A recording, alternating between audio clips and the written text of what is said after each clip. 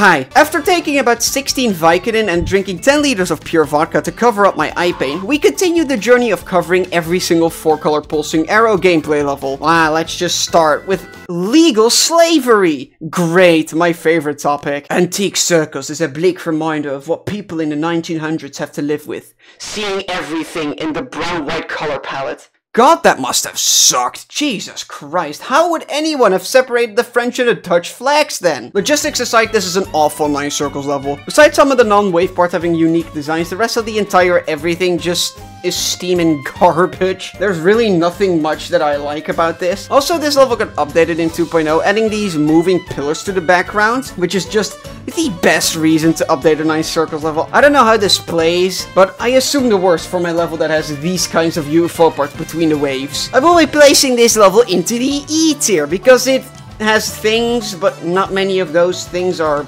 good. So yeah, at least the first click is good. Nine Circles 12 is barely a medium demon. The pre-drop is the only part with gameplay in it, the rest is about as much of a blur as Vibration is for some unflinching folk. The wave part has a unique effect for when it came out, but the first person to catch malaria was also original, so no medal for you, 9 Circles 12. Aside from that, the level has glass breaking effects that are so realistic that it made me buy a second phone. God damn it, Rustam. He made really one of the Nine Circles levels all the time as well, especially with this pre-drop. What is this ball part even doing here? Still, it has some gameplay here and there, and maybe some of it could be passed as decent, though the first jump of course ruins any chance of this going anywhere above the halfway point on the tier list. D tier. I do think this level is really making me feel like coming out of the closet. Oh, wait. Ultimate Circles does not live up to the hype. Thankfully, no 9 Circles level does, so this still kinda works in that way. This is a mashup of a lot of older 9 Circles levels decoration styles.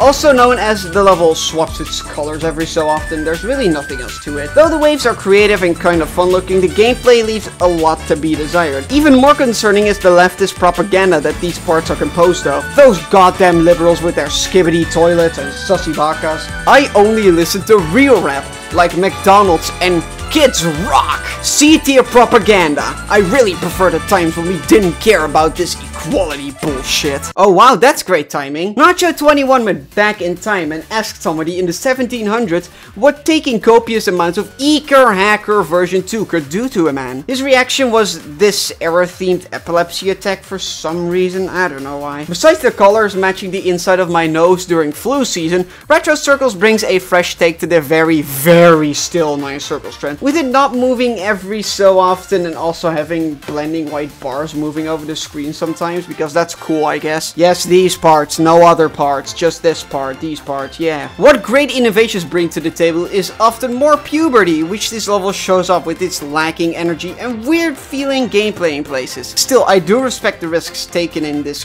green-ass level.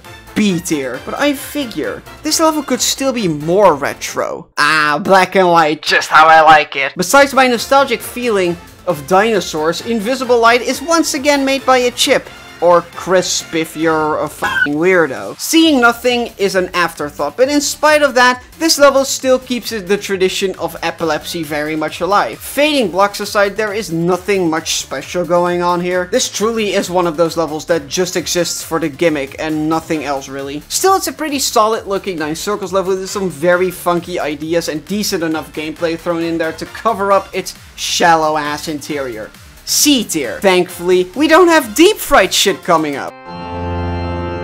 Do you want to be a fan? Well, no. Yes? Do you want to be an enjoyer? no. Also yes? Well, do I have the Sweaty. Dude conference for you? Introducing the Eacker Hacker version 2 fan club Discord server. The best way not to get laid. Meet people that also have severe brain trauma, such as a bunch of my personal friends who I hired as janitors just to make it seem like I know how to build a company. On top of that, you can see exactly when I upload my next project on YouTube or maybe even a Rare Seal stream.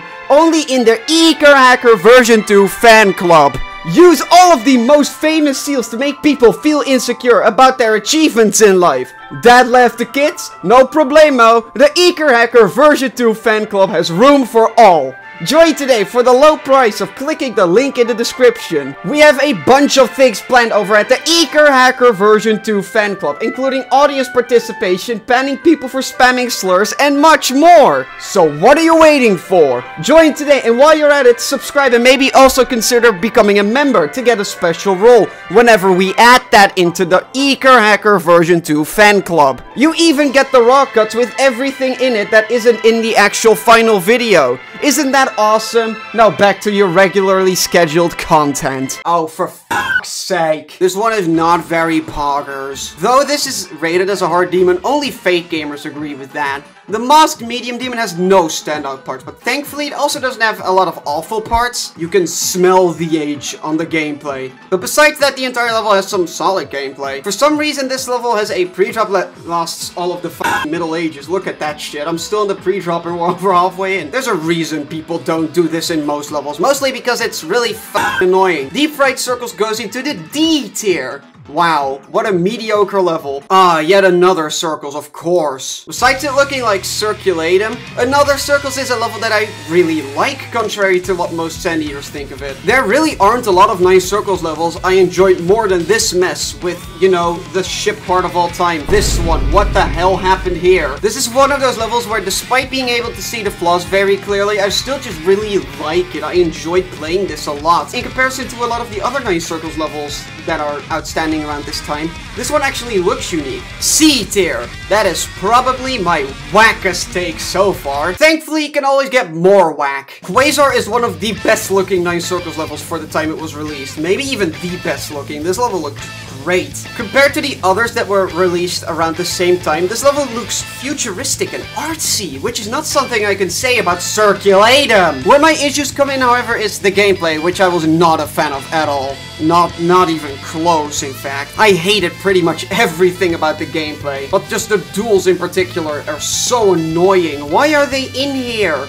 Just, why? It doesn't have to be a dual part, an asymmetrical dual part in a 9 circle level. So yeah, playing this is something I would really not recommend. C tier. Oh god, why? Oh, please don't make me bring this shit up again. Oh my god, why? Why do I have to talk about this level so many times? The wet fart we are looking at is known as Paracosm 12. It is very much not good. The pre-drop is fucking impossible, the wave is an easy demon. Plus, it's not like this level looks the par either. It just looks like shit. It's... It's... Ew. It's purple Nine Circles 12. F tier without question. Last but certainly not least. I mean, of course, how could it be worse than Paracosm 12? Having never been to a mustard squirting competition, this level doesn't do a lot for me. Though the contrast of the bright yellow flatworms that infest the screen and a darker, more subtle background is very well executed, I still just don't like how this level looks that much. The gameplay is just not anywhere close to enjoyable to me. Plus, the entire piece feels very tacky and poorly put together in many places, such as the effects used in the wave sections and not in this one for some reason. Above all else though, I just don't like how this level looks, despite it straying as far as possible from the generic 9 circles design. Black Light is not only impossible to create, it is also not very enjoyable and an unbelievable mess. D tier, just because I'm feeling nice today. What a mess. A mixed bunch, as per usual, but at least we have some more to look forward to, but that's for next time.